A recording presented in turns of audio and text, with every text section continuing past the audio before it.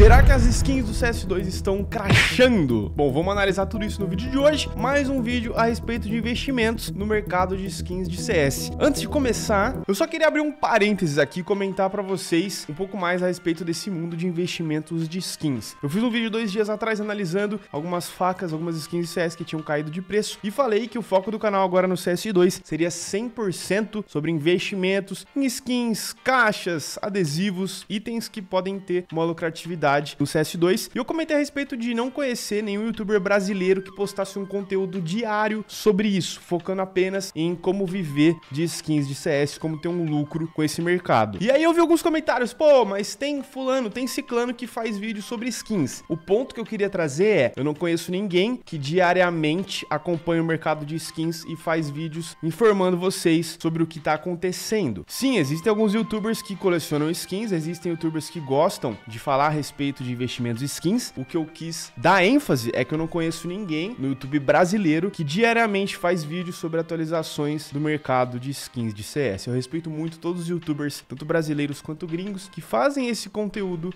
sobre skins de CS, sobre o mercado, mas eu particularmente tenho que consumir muito conteúdo em inglês para ficar atualizado diariamente sobre esse assunto, porque eu não conheço nenhum brasileiro que todo santo dia posta vídeo analisando o mercado de skins de CS. Para não ter nenhum nenhum problema aí nos comentários, nenhuma rivalidade com os youtubers, queria deixar isso bem claro. E fica aqui o meu convite, youtubers que gostam de skins de CS e são brasileiros e querem fazer um collab falando a respeito desse assunto. Tô aqui sempre aberto para compartilhar com vocês as minhas ideias. Mas vamos lá, vamos falar sobre o que a galera tá muito preocupada nesse cenário do mercado de skins de CS, um possível crash no preço dos itens. O que que tá acontecendo? Vamos analisar. Vou dar para vocês duas ferramentas imperdíveis imperdíveis agora. Cara, um site que eu tenho usado há algum tempo e não é patrocínio, eu inclusive conheço o dono desse site, o Price Empire. É um site muito bom e a aba que eu mais gosto é a aba Trending. Aqui é quase como se fosse um CoinMarketCap lá dos, das criptomoedas, só que na versão skins, onde a gente tem todas as skins ranqueadas pelo seu market cap, que basicamente é o valor de mercado. Você pega todas as skins que existem de uma certa arma, de um certo item e faz vezes o preço dela. E aqui tem muita estatística maneira, inclusive você pode usar o filtro da maneira que você quiser, procurar apenas um tipo de skin ou selecionar aqui apenas as facas e analisar como que está sendo a evolução do preço durante as últimas 24 horas, 7 dias, 30 dias e 60 dias, mano. Aqui na direita a gente tem ainda um gráfico que, mano, isso aqui me lembra muito a época que eu era viciado em investir em criptomoedas, porque o Pricing Party é literalmente baseado e inspirado no site CoinMarketCap que reúne todas as criptomoedas do mundo e separa aqui pra gente informações bem similares ao do Pricing Par, como a evolução dos preços aí nos últimos uma hora, 24 horas, 7 dias, o market cap, o volume e o gráfico aqui na direita.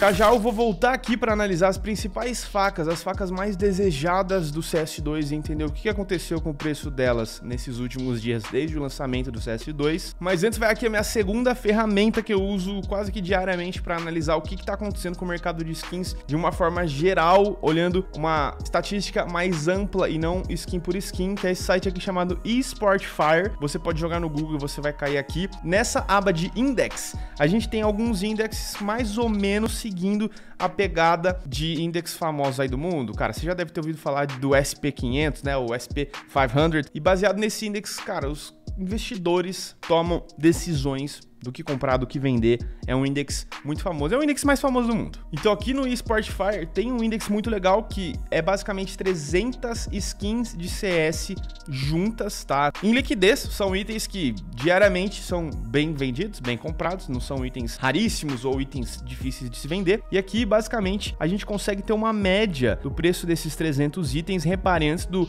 lançamento do CS2, esse index estava marcando aqui praticamente 39 mil dólares. Ele caiu para 34 mil dólares um dia depois do lançamento do CS2, o que significou um fundo, quase que um crash. Se não tivesse rolado aqui essa recuperação, eu diria que as skins estavam crashando. E, bom, quem gosta um pouco mais de gráfico e tudo mais, dá para quase que buscar um suporte aqui nessa linha dos 34 mil dólares e entender que ele bateu lá no suporte e agora tá recuperando o preço. Bom, nesse vídeo aqui eu vou abordar dois tipos de facas, entender o que tá acontecendo com elas e mostrar para vocês se é uma boa hora de comprar, se é uma boa hora de vender, o que fazer. Vamos começar falando de facas Fade, depois vamos falar das Doppler. Para mim, as facas que mais estão bonitas no CS2 são as Blue Jays, tá? Mas depois das Blue Jays eu fico bem inclinado para comprar, por exemplo, uma Fade ou uma Doppler como investimento. E se a gente analisa o que aconteceu com as facas Fade, parece que elas foram afetadas um pouco menos do que as Dopplers. A gente teve aqui a Gut Fade desvalorizando 9% nessa última semana e outras facas Fade aí desvalorizando uma média de 5%, algumas um pouco menos, que são facas que têm uma demanda maior, que são um pouco mais desejadas. Geralmente são as facas mais raras, mais caras. Já se a gente analisa as facas Doppler, aqui deu uma desabada, tá?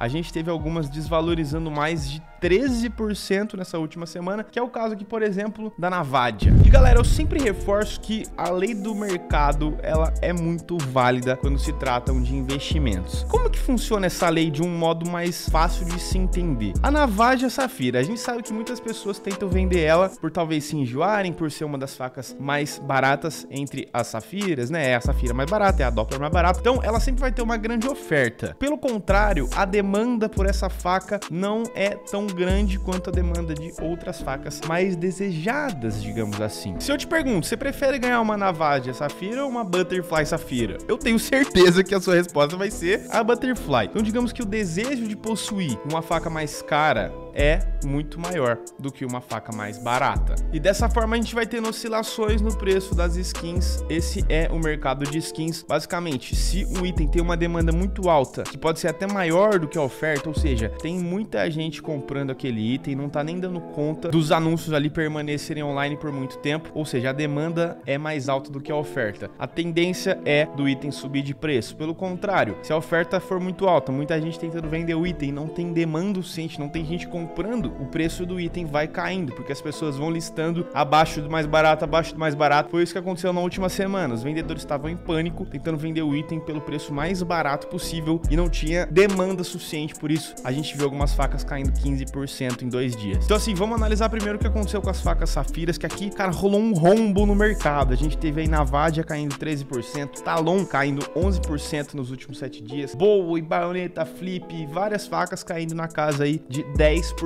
E eu tenho uma explicação bem simples do porquê que as facas safiras caíram tanto. A Valve errou um pouco nas camuflagens Doppler Phase 3 e Phase 4, tá? Ó, a gente tá olhando para uma M9 Safira. Por si só, ela já tá com alguns problemas que são algumas manchas cian aqui, em vez de ter uma coloração roxa e azul. Então, assim, eu espero que a Valve conserte esse probleminha das Safiras, porque isso realmente tá um pouco triste, né? E afetando o preço delas. Mas se a gente inspeciona aqui uma M9 Doppler Phase 4, cara, tá muito parecida com uma Safira. Esse é um grande problema. Digo o mesmo para M9 Doppler Phase 3. Tá quase que reconhecível aqui, velho. Você coloca lado a lado, Phase 3, Phase 4 e Safira, parecem todas a mesma faca. As facas Emerald estão sofrendo algo parecido. A gente teve a Bowie Emerald desvalorizando 13%, foi a campeã de desvalorização nessa última semana. Praticamente todas as facas Emerald caindo aí de 5 a 10% nesses últimos três dias. Claramente uma reação do mercado de skins pela decepção do CS2 e também pelo fato de facas Emeralds e algumas fases de Game Doppler estarem bem parecidas, né? A gente estava inspecionando uma Phase 2 e agora eu puxei uma Emerald para vocês verem que elas não estão assim tão diferentes como elas eram no CSGO. E para mim, nos dias de hoje, tá? Uma Karambit Game Doppler Phase 3 Cian tá mais bela do que uma Karambit Emerald no CS2, cara. Novamente, é aquela linha de pensamento. A demanda por facas Emerald simplesmente caiu um pouco, junto com essa decepção aí do CS2 não ter muitas novidades aí no lançamento. Se a gente puxa as facas rubis, já já vou ver também os preços das Dopplers em geral, muitas caindo aí 5%, chegando até a menos 12% nos últimos 7 dias, no caso da Navaja Rubi. Para as rubis a gente tem meio que um pensamento parecido do que a Safira e a Emerald, apesar dela não tá zoada no CS2, ela tá bem bonita. Cara, a Phase 2 me parece estar tá mais bela do que uma faca rubi, o que é inacreditável e, cara, é óbvio, né? A demanda por facas Phase 2 subiu, as pessoas perderam um pouco do interesse nas facas rubis e tá o que tá. Pois bem, agora que a gente viu as facas mais caras e mais raras, que também não é todo mundo que vai ficar comprando essas facas, rubi, safira, emerald, elas realmente custam um carro. As facas que tem maior liquidez, que as pessoas estão procurando mais, são as facas Doppler. A gente falou de fade lá no comecinho do vídeo. Eu acho que fade a longo prazo é um bom investimento, mas Dopplers, pelo menos no momento que a gente está vivendo, são as facas mais interessantes do CS2 se elas ficarem desse jeito tá? Eu puxei aqui pra gente dar uma olhada no Price Empire, todas as Dopplers Factor New sem ser Stat Track, pra gente ver que enquanto algumas estão caindo aqui, né, 10% nos últimos 7 dias, vai ter uma ou outra que valorizou se a gente for indo para frente aqui nas páginas. A gente tem, por exemplo, várias facas Doppler Black Pearl subindo de preço, como por exemplo, Shadow Daggers Black Pearl subindo 12% nos últimos 7 dias, algo bem interessante. A Black Pearl, ela tá com uma saturação maior no CS2, ela tá mais roxa e menos preta, né, igual ela era no CSGO.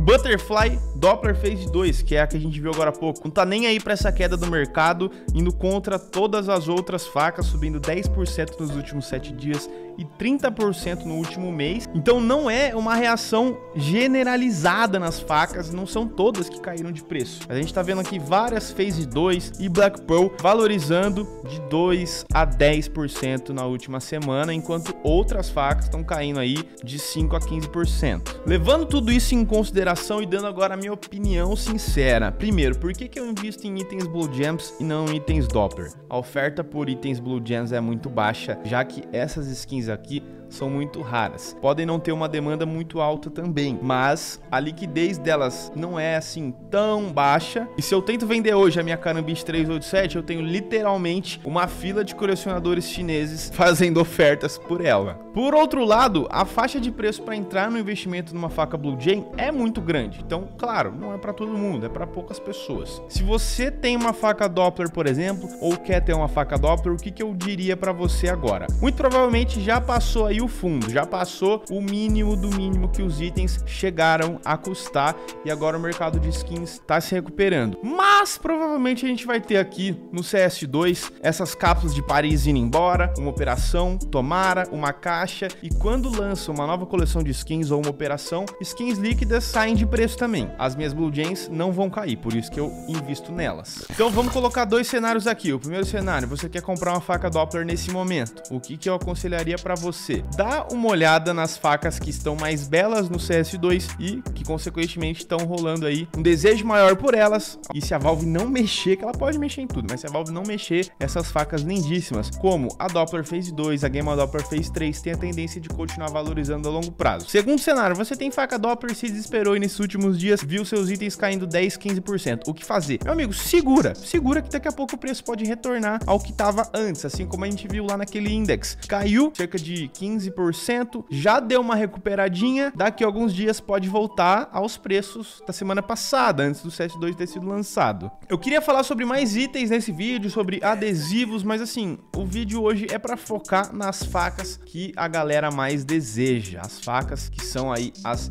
mais estimadas e as mais queridas do CS2, cara. São as Dopplers. A gente não, não consegue negar que as facas Dopplers são as mais desejadas de todas, principalmente aí ranqueando elas Butterfly, M9 e Karambit. Pelo menos a China considera essas em ordem aí as mais desejadas das facas. Então, são as que mais tem procura, são as que têm aí um desejo maior, enquanto que as menos desejadas seriam aí a Navadia, a Gut, e depois dessas duas eu diria que a menos desejada são as Shadow Daggers. Essas três facas não necessariamente são investimentos ruins, só tô mostrando para vocês o porquê que elas são mais baratas do que as outras. Tem menos desejo por parte dos colecionadores e players de CS nessas facas. Pois bem, espero ter passado aqui para vocês um pouco mais da minha visão e como que eu analiso o mercado de skins diariamente, duas ferramentinhas muito boas. Se você ficou com qualquer dúvida, tem uma pergunta, tem um tema pro próximo episódio aqui nessa nossa série sobre o mercado de skins CS, deixa nos comentários. Ajuda muito você deixar um like nesse vídeo além de comentar alguma coisa